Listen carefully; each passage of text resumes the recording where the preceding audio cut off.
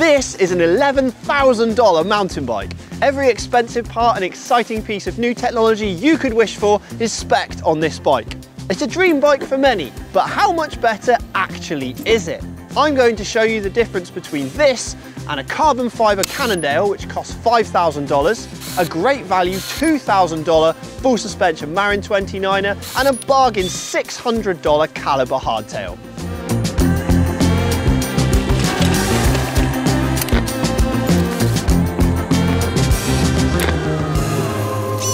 This looks awesome. Hydraulic disc brakes, aluminium frame and a RockShox suspension fork. This is a lot of bike for your money. It's called the Calibre Rake 27 and it's available for just $650 from Go Outdoors stores if you have a membership card which costs about $6. With no rear suspension, a hardtail offers a lightweight and budget-friendly option to those starting their journey into the world of mountain biking.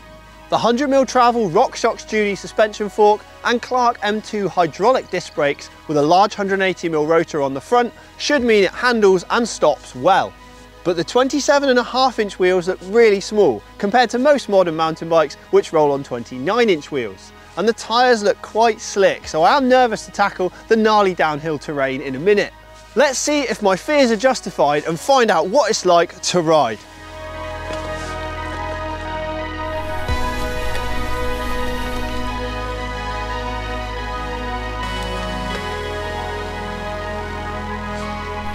Okay, so heading up the climb on the Calibre Rake 27.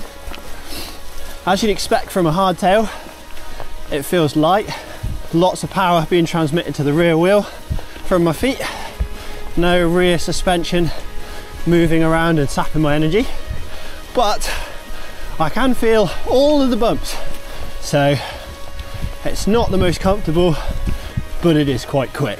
Right hand turn here onto the flat part of the fire road, change a few gears and we're dropping into the double black diamond cougar trail here which is uh, pretty fearsome on any bike so I'm nervous on this hardtail with the, the slim tyres and straight away there's no rear suspension and I'm getting fucked all over the shop off some of these drop offs not being able to be as aggressive as I usually would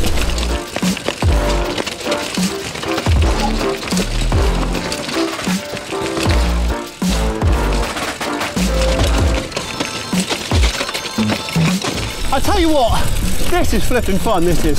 I'm really surprised just how sprightly and entertaining and also confidence inspiring it is. So thanks to the good geometry, it feels really cool. Oh my gosh, that definitely feels like a double black diamond trail. This was way more fun than I thought it would be. It's got a nice wide bar on it. The damping on the forks works really well, which is amazing considering how cheap they are and it shows just how good a modern fork is. The tyres were way grippier than I expected. I looked at the, the smooth profile and I was like, this is gonna be gnarly, but actually it hooked up pretty well. And the geometry of this frame, like with a reasonable reach, quite a slack head angle, it's really confidence inspiring. The brakes do everything you can want them to. I mean, the limitation is the tyres. The big front rotor seems good, gives you a bit of leverage. Yeah, what a machine.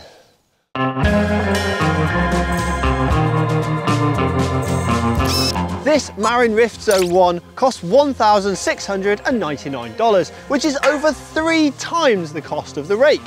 But for that, you get more aggressive geometry, a 130mm full suspension frame, a larger 140mm travel suspension fork, and larger 29-inch wheels. All this will mean increased grip, control, and most importantly, speed. Looks wise, I love the paint job and the internal cable routing is super smart. The one by drivetrain means that this bike has a single front chainring and the mech has a one-way clutch, which should mean that the chain won't fall off. And the boost wheels and oversized crank axle should translate into stiffness. It seems like a big step up from the Calibre hardtail, but there's only one way to find out. Let's ride it!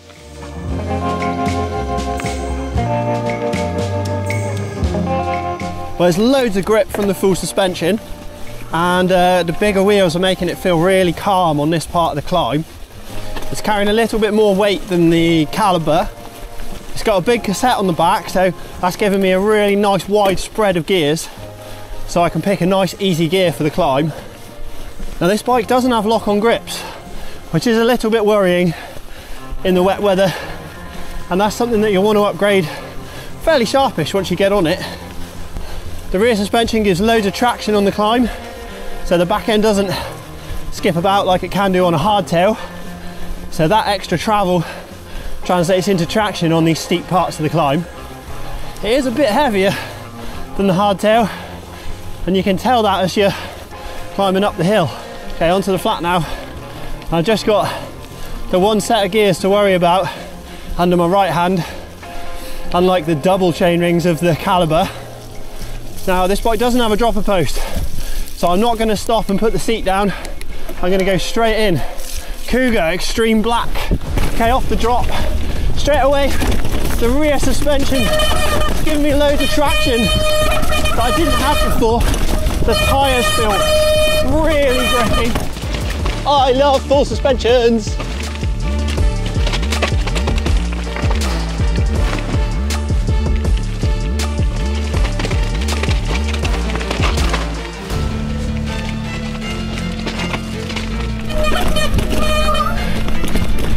Not going off there on this bike.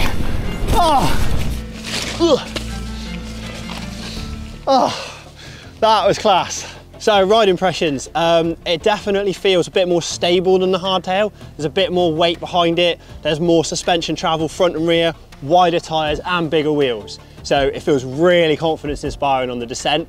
Uh, it gives you a bit more traction than the hardtail and just barreling into stuff not really caring what's underneath you is way easier on this. The hardtail, you've got to have a bit of finesse about you. Um, I think it's time for an upgrade though. Let's find something with a dropper post and a bit more spec.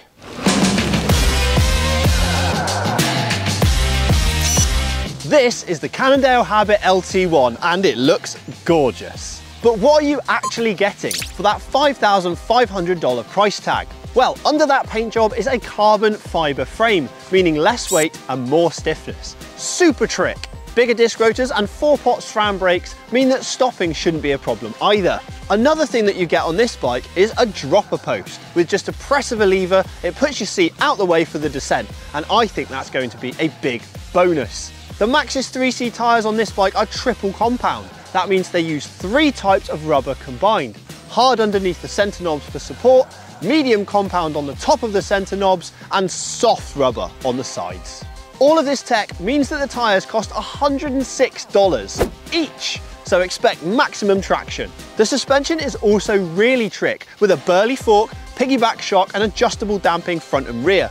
There's even a lockout lever on the rear shock so you can save energy on the climbs. Let's go and find out how this bike rides.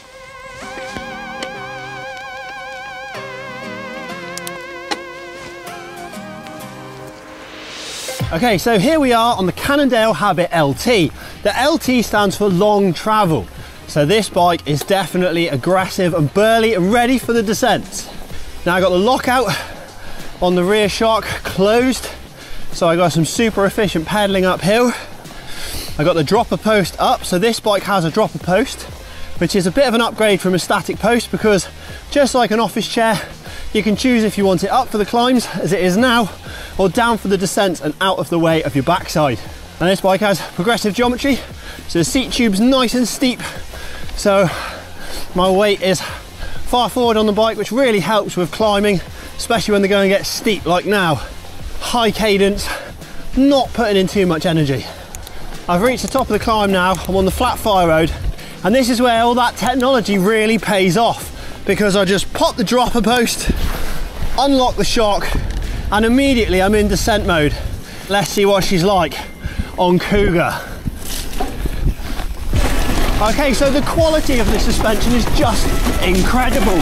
I can feel I've got so much traction and it's so confidence inspiring compared to bikes with cheaper forks and shocks. I can move the bike around, it's ever so controlled. I'm noticeably quicker coming into these braking areas and it just feels like the tyres are hooking up amazingly. And am I going to hit the drop on the big bike? Of course I am. That was sick. Like, it costs more money, but this is a proper machine for hitting gnarly tracks like that. The quality of the suspension travel is incredible. The way the damping works and how progressive the suspension is just means that it feels bottomless. You can really barrel into stuff. You know you've got traction. You know that once you get on the brakes, you'll slow down. Those four piston brakes are incredible. You just brush the levers instead of having to pull them towards you. The geometry is aggressive. It's got more travel. Wow. I hit that last step down at the end, just like super confident, just dropped in, put in a quick pedal, pulled for it, and at no point did I go, oh, you know, what's it gonna be like on the landing? Super confidence inspiring. But what if I told you that the next bike costs as much as two of these?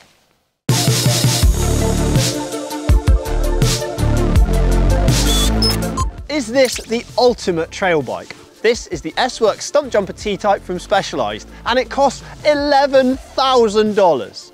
But for that, you get literally everything you could ever ask for from a mountain bike. Most parts are made from carbon fibre, like the frame, wheels, handlebars and cranks, which all combine to mean that the bike has a weight of just over 27.8 pounds. Add to this the $600 cassette with massive 52 tooth cog and you can climb up just about anything. The Fox suspension components on this bike are even coated in super slippery gold Kashima, so the suspension is as smooth as it gets. But that's not even the coolest part of this bike. What if I told you that the gears and dropper post are activated by electronics and totally wirelessly? That's right, no effort and no wires. An electric motor does the work instead of your fingers. So no more sticky gear cables. I'm looking forward to riding this one. Let's go.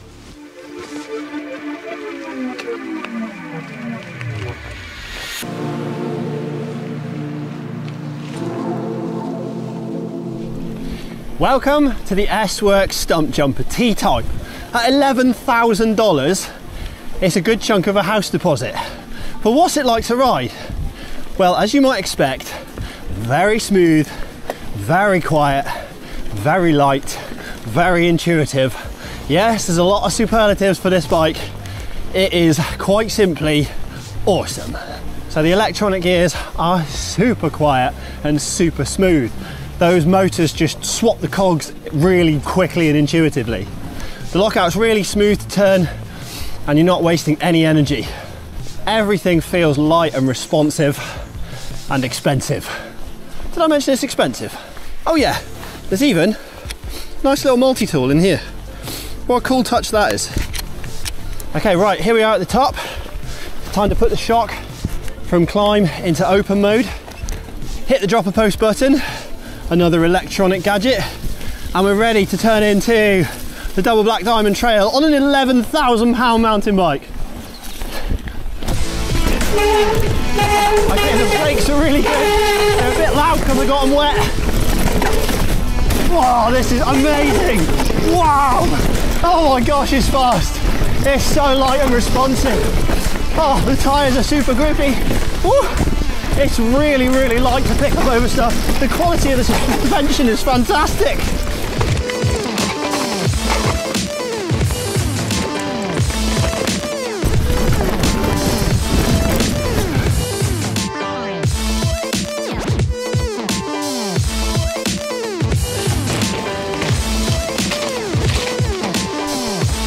Oh, wow.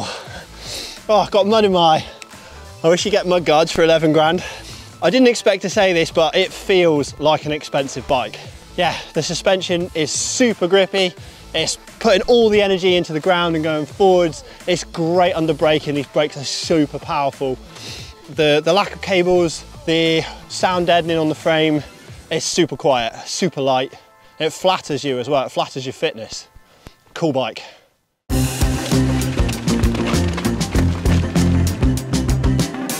What did we learn then? Well, there are some great value mountain bikes out there, whatever your budget.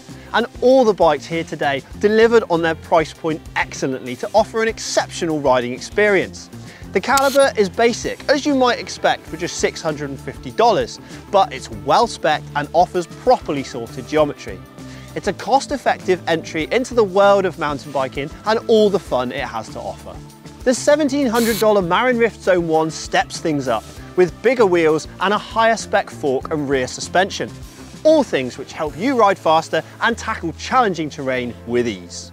For $5,500, the Cannondale Habit LT1 offers every feature you could realistically need for hardcore mountain biking. With burly components, high quality suspension, grippy tyres, a dropper post and a light overall weight, it is the complete package for the serious mountain biker. And of course, if you want the best of the best, the creme de la creme, then the Specialized S-Works Stumpjumper is the bike for you. Sure, it's $11,000, but it offers every single gadget you could hope for in a lightweight and impeccably performing package. This bike should be on your wish list if you love carbon fibre, over-the-top attention to detail and future tech.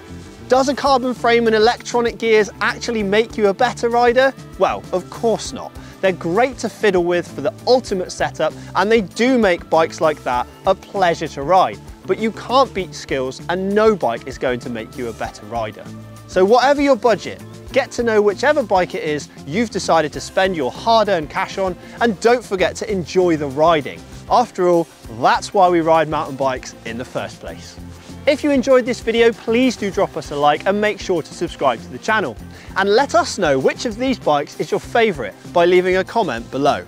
And if you want to keep feasting your eyes on awesome bikes, then why don't you check out this video next? Right, let's go home. Hang on a minute, I feel like we've forgotten something.